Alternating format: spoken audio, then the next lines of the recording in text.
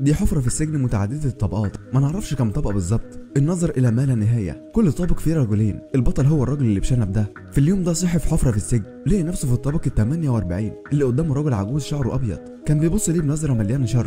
قال له هي دي أول مرة تزور فيها الطابق ال 48 بالتوفيق. بتقصد إيه؟ الراجل العجوز فجأة حط مخدة على الأرض وانحنى قدام حفرة أقل ارتفاع من الأرض ونزل من فوق كل أنواع الطعام. الراجل العجوز التهم الأكل. البطل شاف الأكل ده كله بقايا أكل.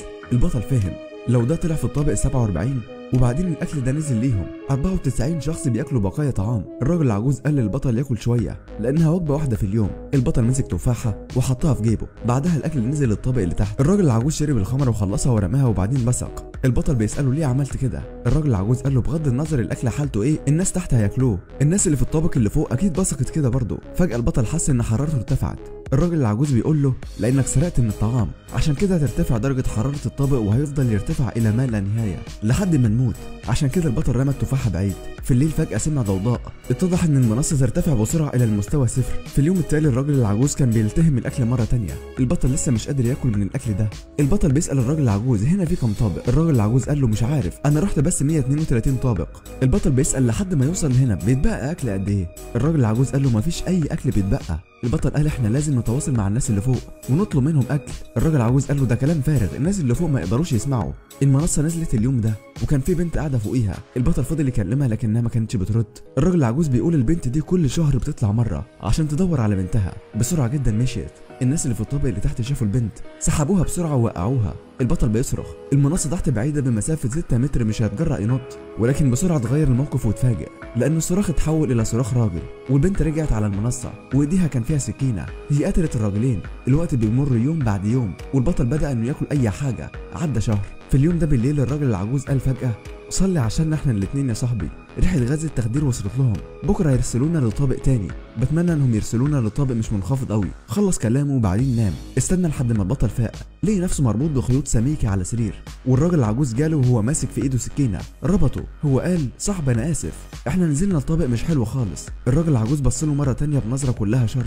البطل بص الطابق 171 الراجل العجوز قال في النوع ده من الطوابق مفيش أكل. تاكل أو تؤكل. آسف بعد كده البطل سمع صوت من تاني. الظاهر إن نفس الشيء بيحدث في الطوابق المجاورة. لسه في ناس مش متحملين الألم. بيرموا نفسهم. بسرعة نزلت منصة الأكل. بس ما كانش فيها أي أكل. كل الأطباق نظيفة جدا. الراجل العجوز قال أنا أقدر أستنى 8 أيام. بعد 8 أيام هبدأ أكل من لحمك. الوقت عدى بسرعة. لكنه قال للبطل أكيد اتعذبت ببطيء إلى ما لا نهاية. في خلال الثمان أيام دول كان مربوط. حتى إنه كان بيتغوط في السرير بس. كل يوم كان بينادي أي حد يساعده بس ما حدش جاي ينقذه. 8 أيام فاتوا الراجل العجوز جاله وبدأ يقطع في لحم البطل. البطل كان بيصرخ وكان بيتمنى إنه يموت بسرعة. بص ولقي البنت دي القاتلة جات له من المنصة اللي فوق. هي ضربت الراجل العجوز وأنقذت البطل وادت له سكينه وزحف لحد ما وصل للراجل العجوز. بس بسرعة شاف البنت فوق الراجل العجوز بتاكل من لحمه وبعدين رجعت للمنصة ونزلت تحت. عدى أيام قليلة هو جاي من حضارة مش قادر يستحمل الجوع. جه جنب الراجل العجوز شم ريحته استنى لحد ما صحي مرة تانية لقي نفسه في الطابق ال 33 رفيق السجن كمان اتغير. واحدة شايلة كلب. الست دي هتكون عضوة في شركة السجن. مش معروف جت هنا ليه. هي قالت السجن ده فيه 200 طابق. إحنا عندنا طعام يكفي كل الناس هنا بس الناس اللي فوق بياكلوا كتير جدا والناس اللي تحت مش بتبقى ليهم أي أكل.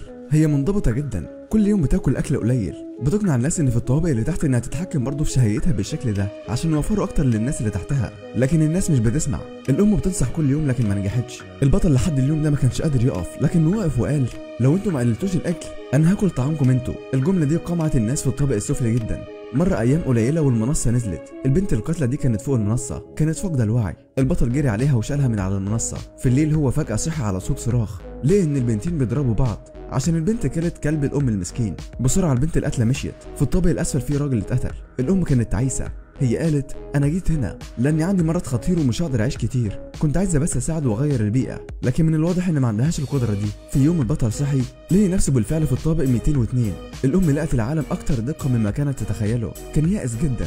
البطل بص لتحت مش عارف يشوف نهاية الطوابق في الأساس الأم غلطت. قالت إن السجن فيه 200 طابق بس. البطل بحزن ضرب الحائط. لأنه قضى شهر في الحال ده الخيار الوحيد اللي قدامه ياكل لحمها أو لأ. قبل أيام قليلة ما كانش قدامه غير إنه ياكل الورق عشان يعيش. في النهاية في يوم ما قدرش إنه يستحمل الجوع. جه جنب جثة الأم. المرة اللي بعدها صحى البطل ولقي نفسه وصل للطابق السادس. شكرا للسماء وللأرض. كان في زنزانة الطابق ده سجين أسود متحمس جدا. جايب معاه حبل. عايز الناس اللي في الطابق اللي فوق يساعدوه يشدوا الحبل عشان يخلوه يطلع. عشان يهرب من خلال الوصول لقمة السجن. وافق الرجل والبنت اللي في الطابق الخامس إنهم ياخدوا الحبل. لكن في اللحظة الأخيرة لما وصل الراجل الأسود رموا الحبل فجأة وسقط على الأرض. لحسن الحظ البطل مسكه. البطل الأسود كان بيعيط وبيصرخ إن الحبل وقع. خطته للهرب فشلت للأبد. بسرعة نزلت منصة الأكل. كانت مليانة جدا ما فيهاش أي فراغ. أكلوا وشربوا وبعدين نزلوا. شاف البطل إن الناس في الطابق السابع كانوا بالفعل بيفسدوا الأكل. البطل فكر في خطة يصلح بيها العالم ده. قال للراجل الأسود في شخصين بينزلوا يتحكموا في كمية أكل كل طابق.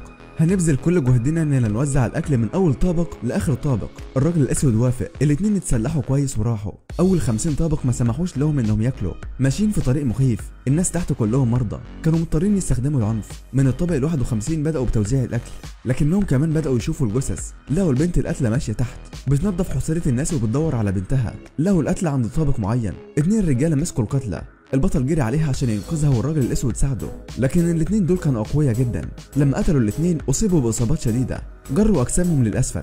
كل طبقة قاسية ومرعبة أكتر من اللي قبلها. لكن في الوقت ده الأكل بسرعة جدا كان خلص. لكن المنصة لسه بتنزل. الاتنين احتفظوا بآيس كريم ونزلوا بيه في المنصة. تم الإرسال إلى الطابق الأول لإعلام الشخص الأعلى. شخص ما عايز يغير العالم ده. وصل الطابق 333 آخر طابق.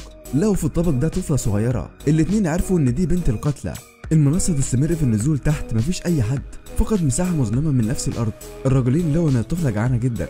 بسرعة قرروا يدوها الآيس كريم تاكله. اليوم التاني البطل اكتشف إن الراجل الأسود فقد دم كتير ومات. عشان كده حط الطفلة الصغيرة فوق المنصة. خلاها تيجي معاه فوق على المنصة. مشي في الفضاء المظلم ممكن يكون الجحيم. طيب جه وقت تفسير ألغاز الفيلم ده.